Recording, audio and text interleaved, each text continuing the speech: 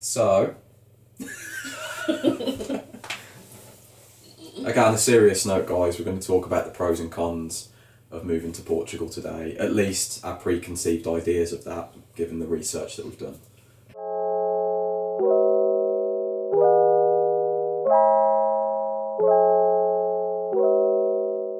So I suppose I'll kick it off. Um, one of the key reasons for moving, as you're probably aware from the intro video, is that we want to live an off-grid lifestyle and here in the UK that is extremely difficult to set up. I've looked into it for years.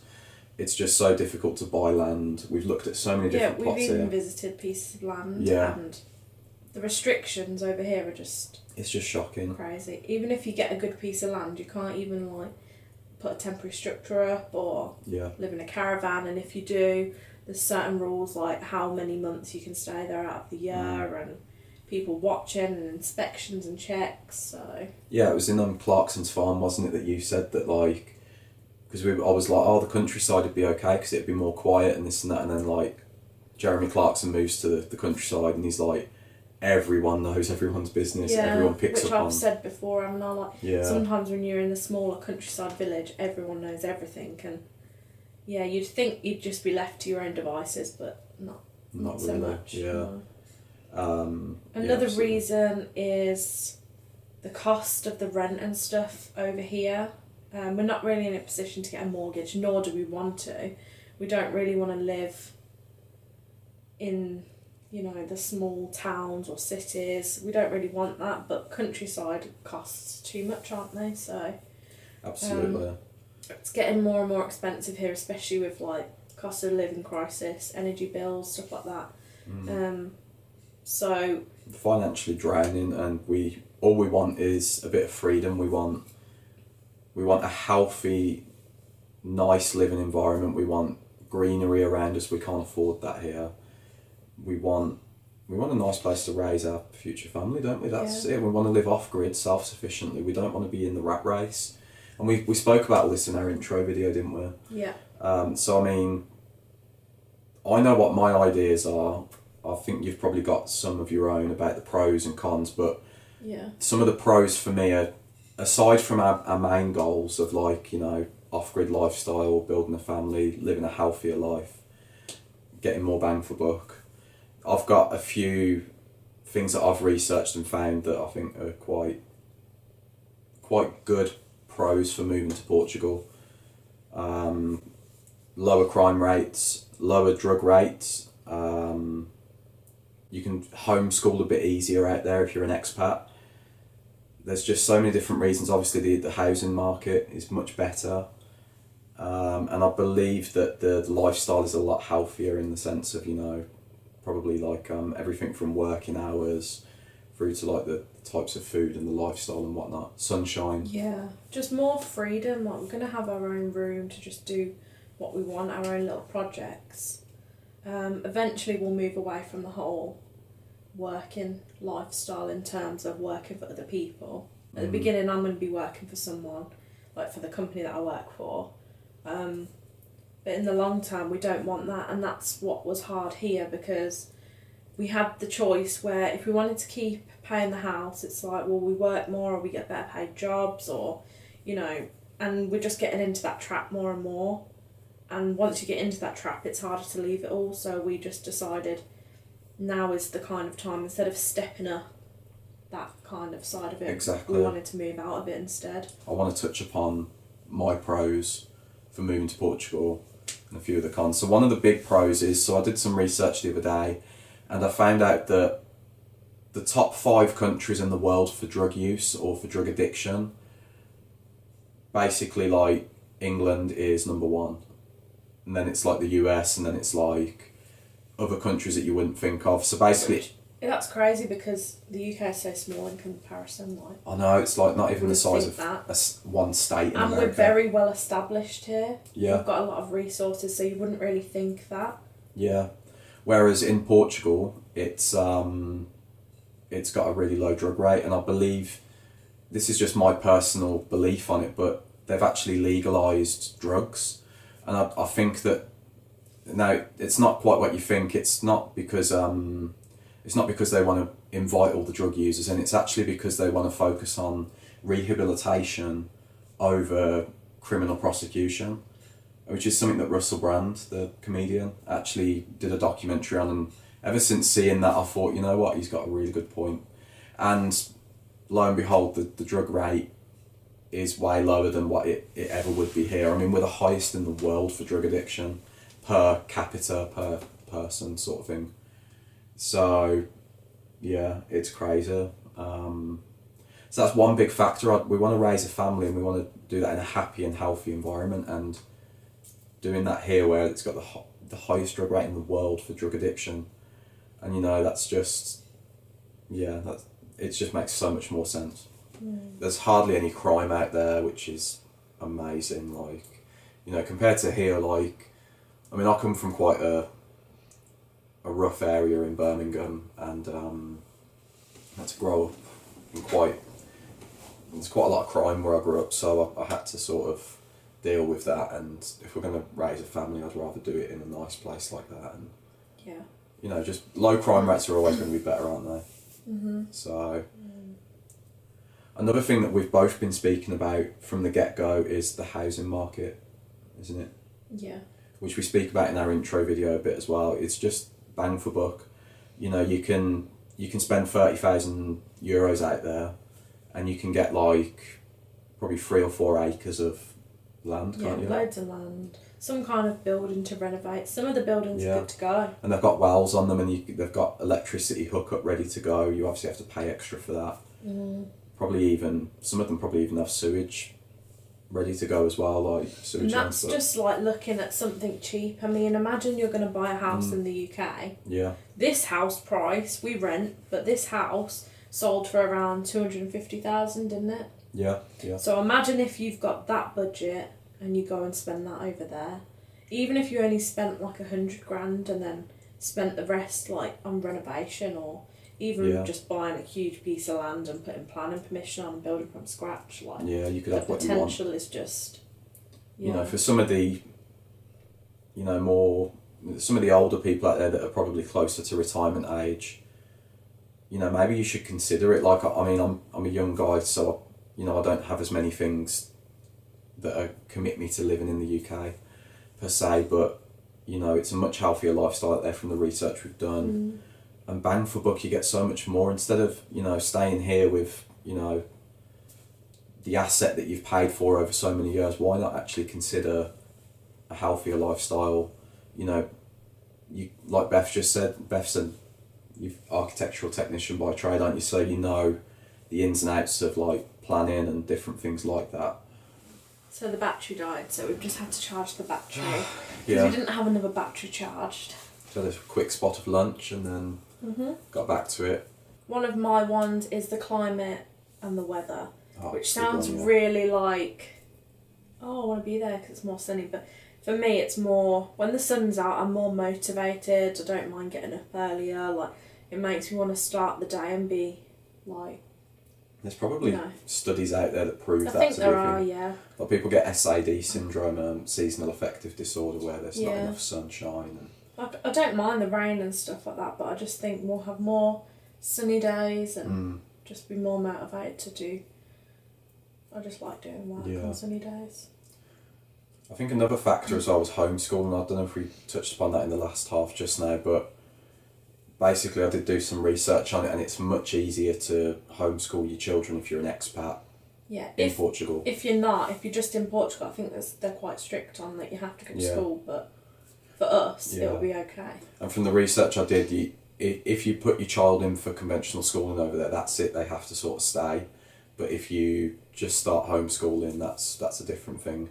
And also, I mean, you could argue that you're travelling around anyway. You could say, well, I'll spend three months here, three months in Spain, another three Mm. months in Italy. Let's say. Like, You just say that you're travelling a lot, and Which we may well do. yeah, we have looked at, and that's another thing. So one of the cons that we talk about is um, the residency visa and whatnot because it's it's very specific and it's It's very complicated. We found lots of pieces Yeah. of different information, and we think, great, that's all going to be good. It will all work, and then all of a sudden, we find something new out, and we're like, oh, So either it's changed last minute and then all of a sudden it's this, or it just wasn't clear on the other sites that we were researching. And um, yeah, so one of the things that we might do is buy land in the future once we set up in Portugal, like in Spain or somewhere like we spoke about it, haven't we? That way, if we do have to do the three months in, three months out, we'll just be going to our place in Spain Across the if border. we get one, Yeah. and just vice versa. We also, I've got some friends and stuff in Spain. Um, From when you grew up, yeah. From when I grew up in Spain when I was young, I was there for a few years. So, um, and you've got family there as well. Yeah, So yeah. I mean the the the thing is we've also got a we're quite lucky that I've got Irish ancestry, um, so the Irish passport and citizenship. You know, will take roughly the same amount of, amount of time as the D seven visa, so it's a nice backup for us to have. yeah, Yeah, another thing is um, another con. Since we're on to the cons now, is um, the language barrier. yeah. I mean, You're I going don't to be really. better off than I'm me. not too worried about it. I've done that before, and you kind of once you're in the environment, you pick up, pick Yeah. up on things. And because I know a bit more Spanish, some of the things will be similar. Not all of it, because there are quite a few Mm. differences. But I think Yeah, I mean, yeah, I can relate to that from when I was in in the Middle East, like it, it speaking Arabic. When it's when you're immersed in it, you, you learn the basic things, Yeah. basic terms. We were speaking about that just the other day, weren't we? yeah, But yeah, it's quite daunting to just look at a whole other language though and think, oh, I've got to learn a whole language and, and actually be able to use it practically. But I think if we just take it in chunks and do it at, a bit at a time, it'll be okay. you're quite good at learning languages. Mm, I am. I think you're better than me. On Duolingo at least. Yeah, but that's a language that I know a bit about. But Hmm. um, another big con is like moving our stuff. Well, it is and it isn't because Mm, traditionally most people would pay a big chunk of money for that all to be moved. it costs us Across. thousands to do that though. Yeah, It um, still will cost us a fair bit, but yeah, and we're not in that kind of position, but we are fortunate that my dad's got like trailers and things like that that we can go over on the ferry, load those up, and gradually take our things across. mm, So we are lucky with that.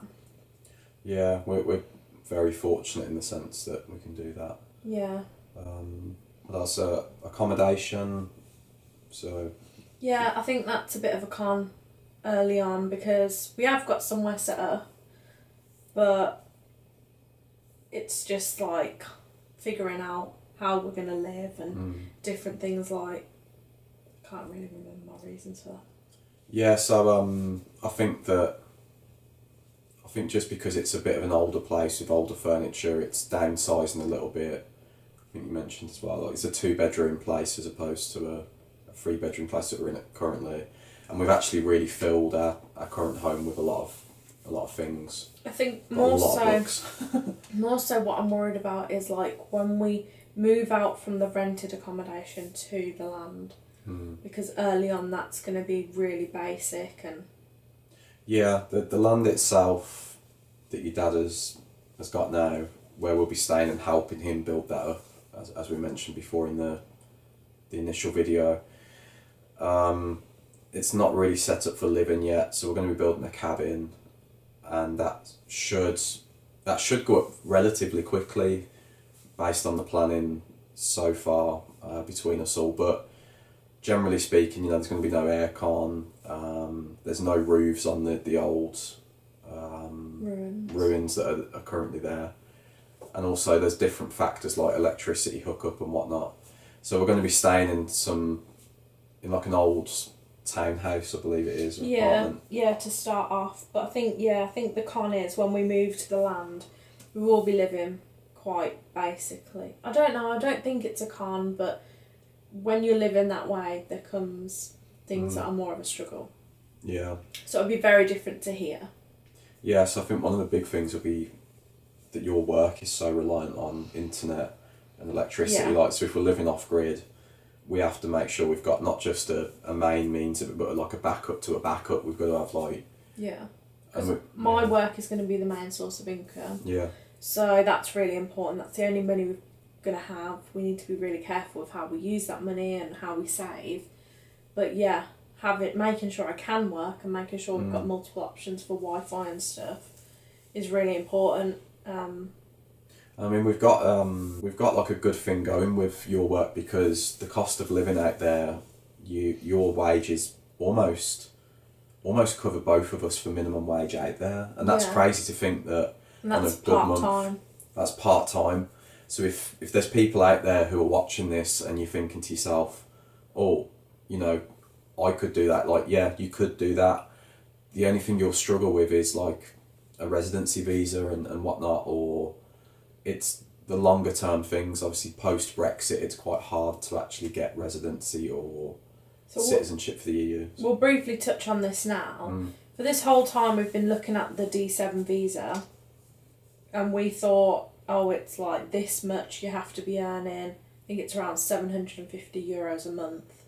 And we just thought that was income, so we thought that would be fine.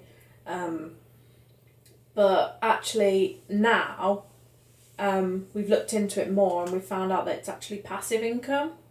So that changes things quite a lot. It's not saying that we can't do it because we do have some things in the background and stuff that Yeah. could work towards that, but it's just not what we initially Yeah, thought. and I mean, like I say, we've got the hmm. my my pending Irish citizenship. Once I put the application in, that should you know that takes up to two years with with the waiting time at the moment. So generally speaking, a D seven visa take can take up to two years as well. Well, re- some of the research well, done suggests that. online it kind of says it can be as fast as like up to 10 weeks or something like that. Yeah. But people that we've watched have said theirs have taken over two years, so I don't know. That's we're just talking about the application though. Like I'm talking about that other couple that we watched, and they said that to get it. once that once they got once they got it, they had to keep going to the, the passport office at the border or something to get it stamped, or something like that. A, a local authority had to stamp it for up to two years until they could become permanent residents. Yeah, it's, it's a quite residency visa. complicated and it's limited online the information that you get. So we're pulling our information from bits Mm. of YouTube and but we're going to keep updating you as we find things out and we go through these processes. Things are always evolving and changing at the minute. Yeah. Um, another big con for me is like travel because like family's really important to both of us and we are going to want to see them, but Mm. it's awkward keep traveling back all the time and Yeah, because initially we've got the three months on, three months off. We don't really want to be coming all the way back to the UK because it, but you know, it's easier for us to go and stay in Spain, and it's going to be a lot nicer. because also if we come back for three months to the UK, it's really expensive to live here for three months. Yeah, unless we're staying with family and that's uncomfortable. We would rather, especially in the off peak times. So we've worked it so that we're going to be going to Portugal around about summertime when it's peak rates, staying in your dad's place for three months, and then we're going to go across the border to either Spain or France. Who knows, maybe another European country, and we're going to stay there for three months. Well, maybe it's not set in stone yet, is it? Well, we don't It's know about a the- thought. Well, if we, unless we get the residency Yeah. things sorted, and then we would stay as long as we we want, of course. But I think hmm. I'm more like leaning towards like I want to pop back here and there, but it's all money dependent, isn't it? it's all money dependent. Yeah, like it would be nice to be able to visit family and stuff. Keeping on the topic of that. And also we've got appointments over here and stuff Yeah. that we've got to keep, and Mm. so I think that kind of mostly covers our pros and cons. Have you got anything else? No, I think that's it really. Yeah. So there's lots of mixed things, but ultimately, if we stay here, the lifestyle we would have to have would be to work more. Mm. Towards goals that we don't really aspire for anyway. We don't really want Yeah. to. We'll be working to pay for this house, this life, or another house, but it's not what we want. We want land. We want our own, like self-sufficient kind of setup. Mm. And I actually ultimately want to like design and build our own house from scratch, which you kind of are interested Yeah, in yeah, too. So absolutely. we want to build our own thing, and that's just not. It would just cost so much here. That's it. It's just too much. Um, it, it's not in line with our, our values, and yeah, that that's it. That's just the bottom line. You know, that's the one thing I've found up to now is that if if it's not in line with my values, then I don't really want to pursue it because no amount of money in the world will make up for what's actually truly going to make me happy. And Yeah. I think we're both on the same sort of path, so it makes it a lot easier. Mm. because otherwise we wouldn't be doing it, would we? No. Obviously, we've mentioned loads of other videos that we're going to cover, um, or that we may have already covered on the Mm. channel. Um, but Yeah. anyway, I hope you like this video and please like Yeah. and subscribe if you are interested. So, yeah, thanks for watching and we'll see Yeah. you in the next one. Thanks, guys.